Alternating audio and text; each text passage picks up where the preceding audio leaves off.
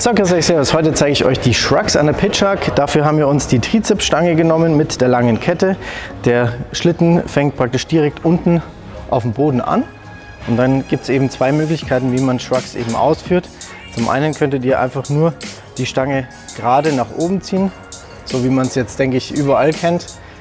Man zieht davon, also was viele Leute immer sagen ist, Schultern zum Ohrläppchen bringen. Einfach so nach oben.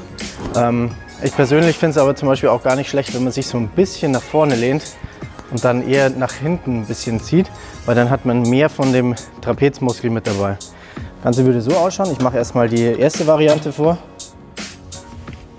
Ziehe das Ganze hoch und dann praktisch diese Standardvariante aufrecht stehen und Schultern zu den Ohrläppchen bringen.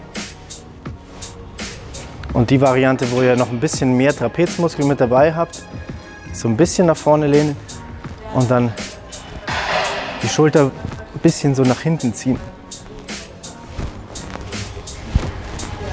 Wenn ihr fertig seid, einfach wieder ganz unten absetzen und so leicht geht es mit der Pitchhack.